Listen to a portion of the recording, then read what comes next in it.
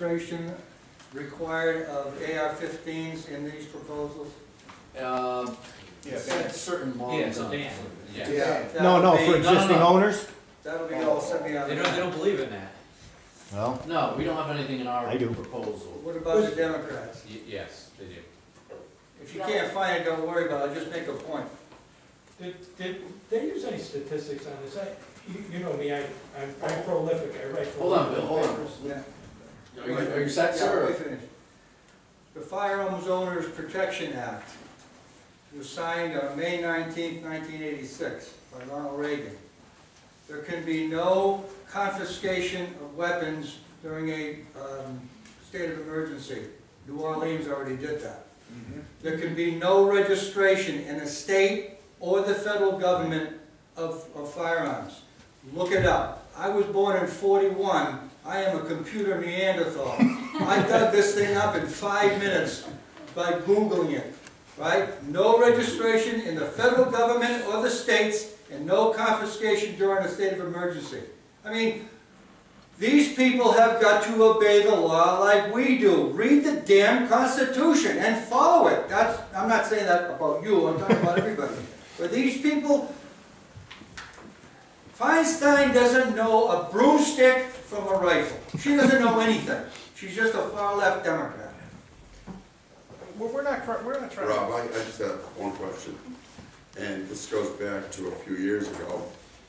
Had Lanza not killed himself, we don't have a death penalty in this state, which means we would have supported him probably for the rest of his life, maybe for twenty life sentences, and gone nowhere. I think the three of us voted against it. I know you did, and at the time, Malloy pushed the uh, abolishment of the death penalty in this state and got it through the Democrats.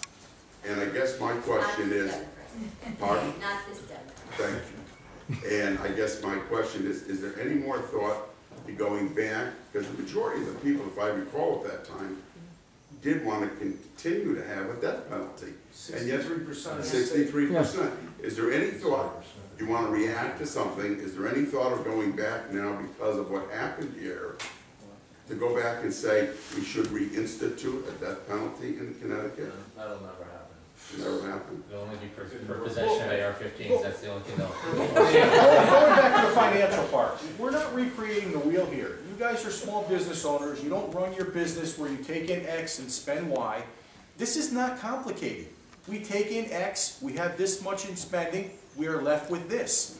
Uh, What do you mean get people for the votes? I don't understand that. Uh, And I guess, I think that's what everybody's having trouble understanding about everything. Well, you gotta have, the truth is, three of us are mostly like-minded. Would you agree? Um, But that isn't true. You've got, what, hundred and fifty-one in the House, and we've got thirty-six in the Senate. You gotta count the votes, that's. I I understand, but Yeah. who, who- who's not in favor for having a balanced approach to the way we run our Yeah, government? Uh, let me just say ab- about, um, about appropriation. Forty-nine percent. I know that, but, but the- I'm sure the people I, are in favor for that, I- and You they're still doing but it. just the, the, the, one thing, if I may, Joan, and I apologize. The muckers and the. I, I would venture to say that the three of us will agree with the majority of the people in this room on ninety-nine percent of the issues, okay? What you need to do is when you go to work, or when you talk to family members, or coworkers, or whoever, and you go, and you say, hey, Joe, you live in Danbury, or you're sir, you live, you work in Danbury, hey, Joe, you work here, who's your state representative? I'll bet you ten bucks that they don't know who it is. Okay? Secondly, they don't know who their state senator is either, or whoever it is. Then, they don't know how they vote. Because what happens is, you see us at the Girl Scout ceremonies, or at the Memorial Day parade, or I'm bringing your kid a citation. Say, yeah, that Rob Kane, what a nice guy. And then, then they go on. And I'm, I'm picking on myself, but I would get, venture to say, most of my votes would probably go along with what you adhere to, or what this room adheres to. But people do not know who their legislator is, and nor do they hold them accountable for their votes. So if you wanna change, if, you- and, and- and to Joan's point, you gotta have the votes, Mhm. that's the only way it's gonna happen. So, so would you be in favor of being held to a contract to say, provide a balanced budget, do what the We're- people want? We are, we are constitutionally required to have a balanced budget. I understand that, but somehow that's, sidesteps everybody. And, and, and that's our point as far as on guns. We break the Constitution every day, not on just guns, on other things. And the people are starting to wake up, we're here, the people, I mean, you've never had this many people in a meeting like this before. You- We've had people at the Capitol on both sides. Eh, With the, with the woman over here who said, yeah, I'm a little afraid, you know, we need to come together because we can't ask you to be across the aisle if we, the citizens, are divided.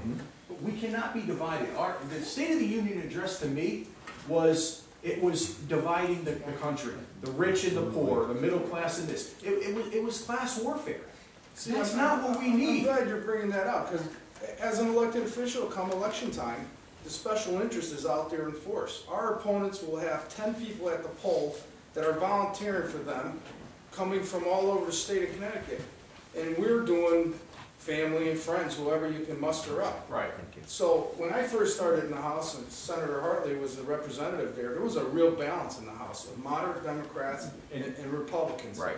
And we had a conservative governor, so a lot of things got done.